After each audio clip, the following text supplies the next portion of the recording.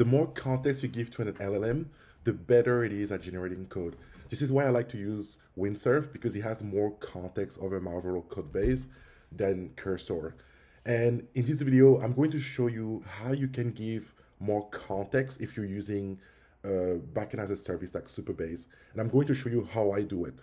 So essentially, in order to do that, you need to head over your Supabase SQL editor and create uh, different queries that will allow you to give enough context.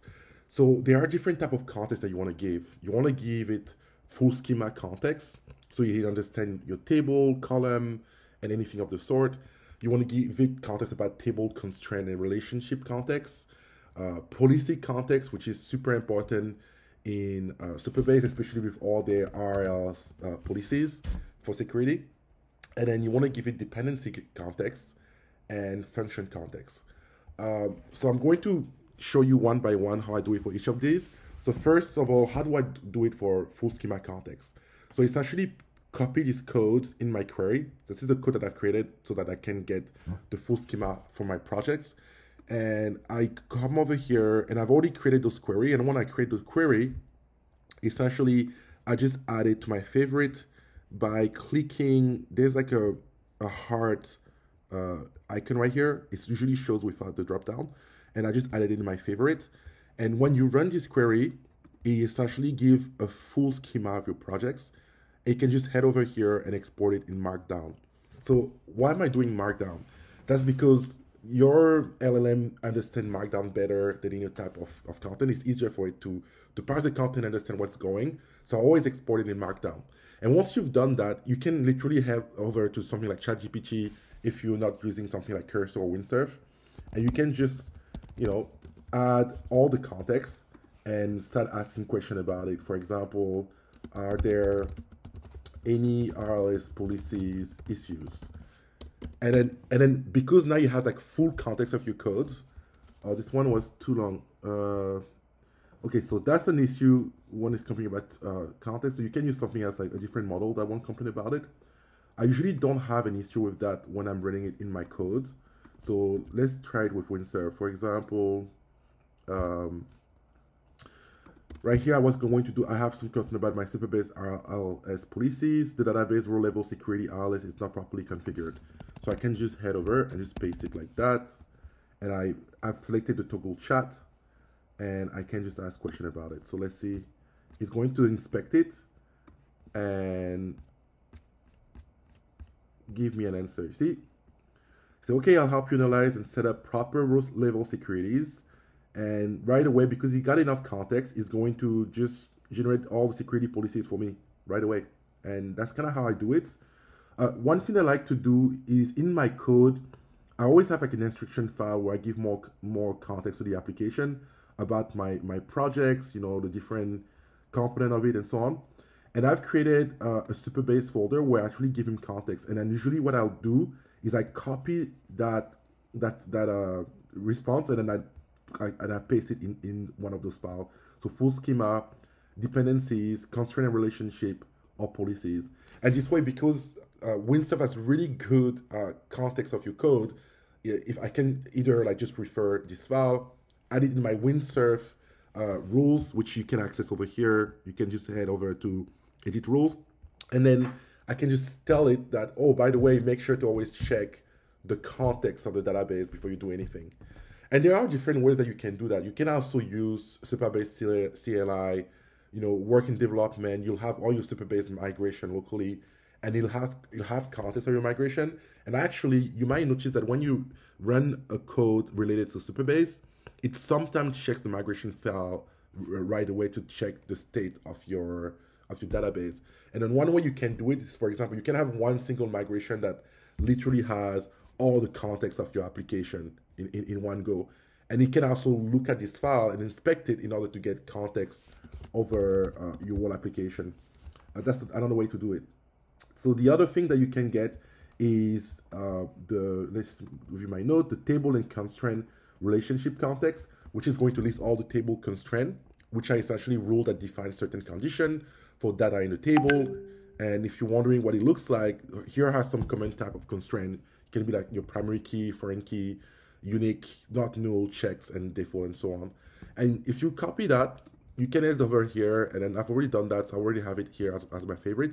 I can just generate all these logics right away. And again, just go over, copy as markdown and export it.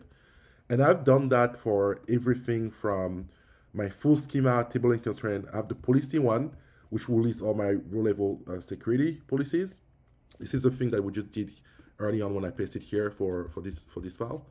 I believe, let's see, I believe where that was the schema maybe. So so for example, for this one, and this is going to show you another great feature of Windsurf, I can just head back because what I actually meant to paste was not only my schema, but also my my policy. So I forgot to to specify it. So in Windsurf, what you can do essentially, you can revert to that version.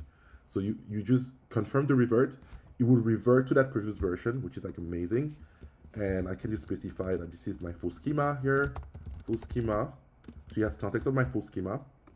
And now we can head over uh, the SQL, generate the markdown for, for the policies and export it as markdown. Head back here and I can say policies. Because when I generated earlier, it, it had context of my full schema, but it didn't have context of my policies. So you might have generated policies that I didn't even need. And I, it has happened in the past where it suggests policies to add to my Supabase, but those policies are not necessary because I already have I have that in my code, but didn't have enough context. So very, very important to give it enough context. So let's submit this and see what it generates now. You can see that I'm in chat mode right now. Um, so I so it's not going to do anything yet. I just want to get some some insight. So he's checking everything, analyzing the full schema. Is and then as I mentioned earlier, sometimes it will check your your schema in that document. As I mentioned, uh, preferably we'll, uh, I will recommend to ask it to skip it and just focus on those one only. So so if the two don't match, you don't get into an issue where it's not doing the right thing. But right now, for in my context, they both match. And after that, it analyzes the codes and it notices all the issues, table without RLS policies. So it tells me which one they are. Um, issue embedding, because I'm using uh, embedding, OpenAI embedding. And then uh, authentication check. So it notices all the issue and it just lists them for me. So I can now copy those policies and head over to Supabase and essentially just create new query and, and add them. So yeah, so so I'm going to make all of these uh, these uh, codes sample available for you so you can get all the context, even for dependency context. I can show you what this one will re return. So it will return a dependency context like that. And essentially, this is uh, how one object relies on to another uh, to function. So it could be primary key, foreign key, uh, dependencies. So if, for example, you want to check the age of something before you do something on the, on the table. And also the function context. So sometimes you create function to make it easier to do something in your database and you want to know, oh, what are all the functions that I've defined in my code? This is the code that you run in order to get that. And it will return all the functions that you've created uh, for authentication and so on, including the actual definition that you have. And then you can also give it to to uh, to your LLM so that you get really good context with it. So usually I don't have issues pasting things here, but I guess uh, this model doesn't have enough context. I've done that a lot with O1 when I think about it, which has a much bigger window. Um, I don't want to use my O1 credit right now because I literally maxed them out. But you can use it for something if you have a much bigger context window. And sometimes it is, is not as long when you're doing it for like, let's say, for example, for policies. So if I were to do that for policies, let's head over here. And I, uh, sorry, I run selected export copy to markdown. And I can say uh, uh, can you uh, analyze this? Is any policy missing? And let's see if it works. Yep, see and then there you go. And then now it's, it's writing the policy that I'm missing in this logics. Yeah so that's this is kind of like what you can do with this. And like I said I'm going to make this public. You can get the links in the description below and then you can get access to that right away and all you have to do like i say just copying this thing adding it to uh, create new snippet and make sure to save it so it's already always accessible i literally generate that like multiple times a day i found it super helpful it has helped me building my application much faster and ensuring that uh, Windsurf or Cursor don't make as many mistakes when it's generating code for my application. So super, super helpful. Uh, if you guys enjoyed this, don't forget to hit subscribe and thank you for watching. I'll see you guys on the next one.